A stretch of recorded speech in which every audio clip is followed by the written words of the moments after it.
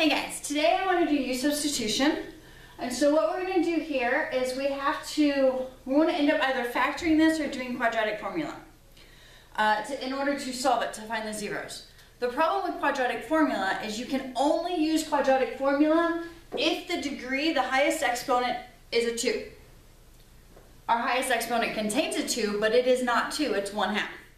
So what we're going to do instead I mean, we could factor it like this, but that's really a pain in the butt, and we don't want to do that if we don't have to.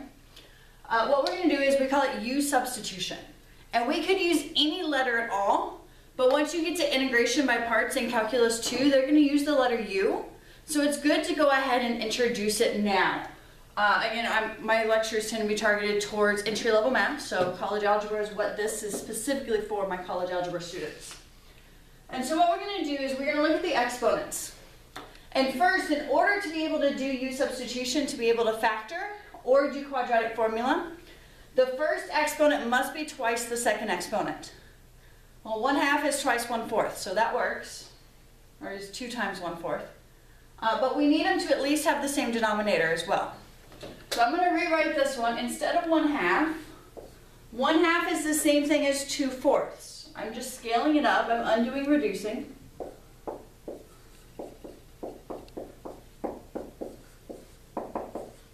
Now some people have a really hard time seeing things in this format. And so I explained it in class yesterday where you're going to take the 1 4th and you've got to get it out of the first one.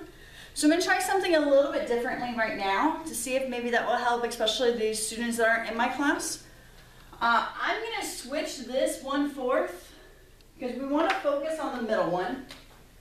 I'm going to switch this 1 4th as well as this 4th into radical form.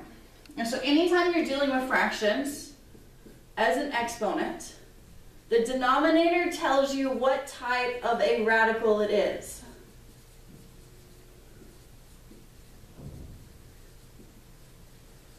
Case in point, a square root is a 1 half exponent. Now, we didn't want to do a 1 half exponent because we want the denominators to be the same. We want to be end up with the exact same radical. So a 1 fourth tells us that we're going to have a fourth root.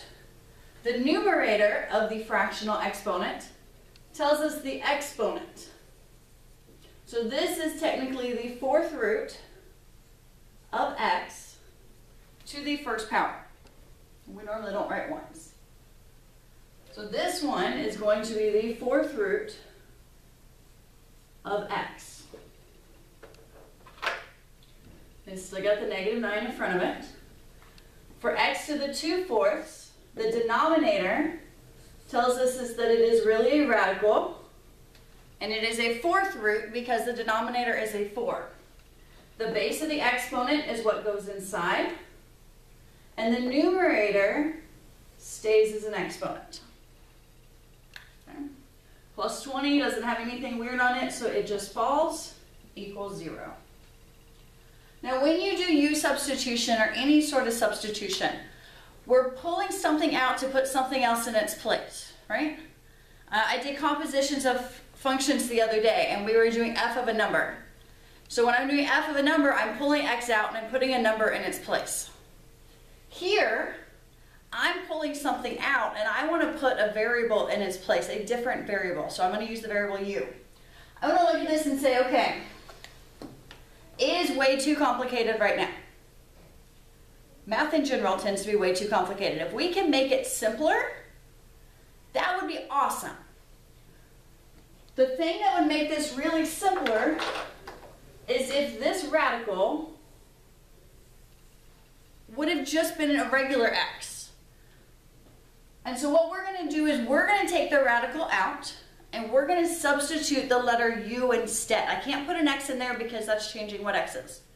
We're going to substitute the letter U instead. That's going to allow us to work with the other numbers, and at the very end, we'll bring that radical back in. Okay? So I'm going to take these radicals, and I'm going to say let U equal the fourth root of X. Now you can only equal one thing. So if those radicals aren't the same, you can't let u equal it. It's got to be the same. You can do it with radicals, you can do it with different exponents. or with exponents other than your 2. So if you have something that could be squared and something there, you could take and let u equal x to the fifth maybe. You could take u and let it equal a set of parentheses with stuff inside of it. The key is whatever you have has to be in both terms. The first one needs to be something squared, and the second one just needs to be whatever you're trying to take out. Okay? So this leaves us with, we've now got u squared minus 9u plus 20 equals 0. Okay? That looks a whole lot better. I can work with that. That can factor. Uh, if it can't factor, which is sometimes can, it sometimes cannot, all you would do is quadratic formula. But remember with the quadratic formula, you have a u. So it's u equals, not x equals. You've got to make sure you keep the variable that you're using. Uh, so this one can factor, so I'm going to factor it. Uh, I always factor AC method. No matter what, I'm always going to factor AC method because I used to teach guess and check. When I stopped teaching guess and check and I started teaching AC method, my grades on factoring almost doubled for my students. So my passing rates almost doubled because students liked the consistency. So AC is 1 times 20, so that's positive 20. B is negative 9. I want factors of AC, and I want those factors to add to make B. I always start with the number 1. 1 and what number makes 20? That's 20. That makes 21 when I add them not B.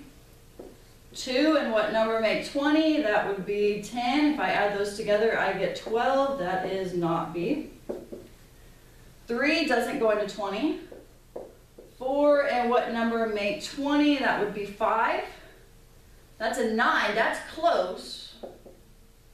But I need a negative 9. So if the only problem is my sign, change all the signs.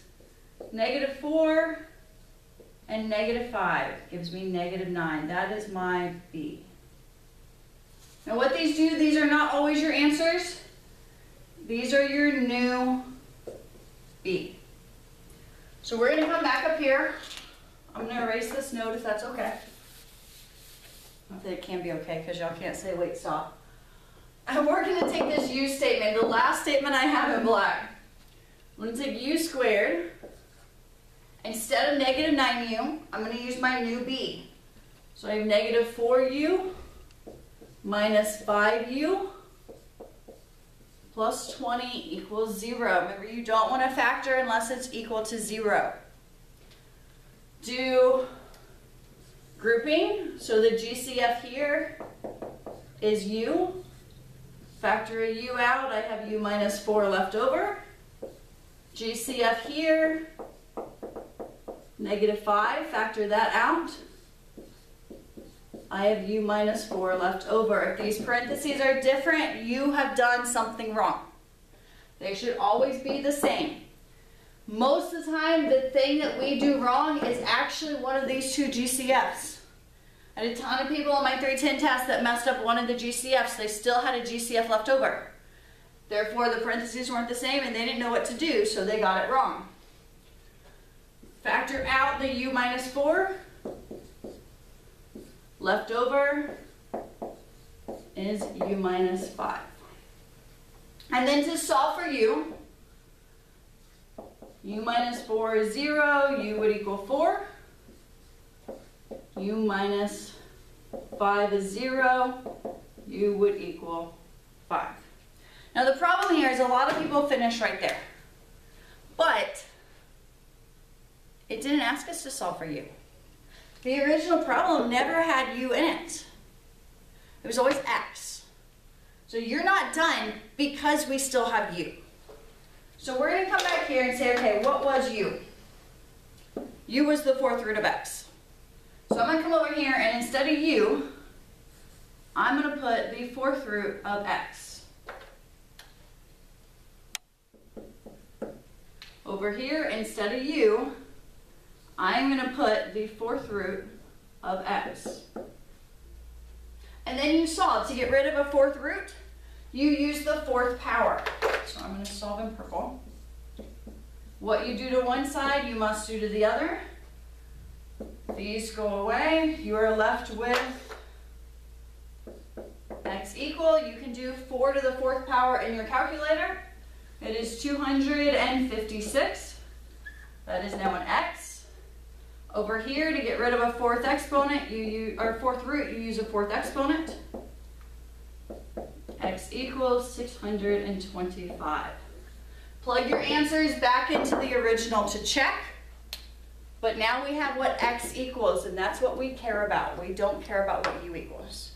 You can plug this into your graphing calculator. You're gonna have to adjust the window really wide if you wanna use calculator though. So I highly suggest, my students, I tell them they've gotta use u subs. So I've gotta see what u is.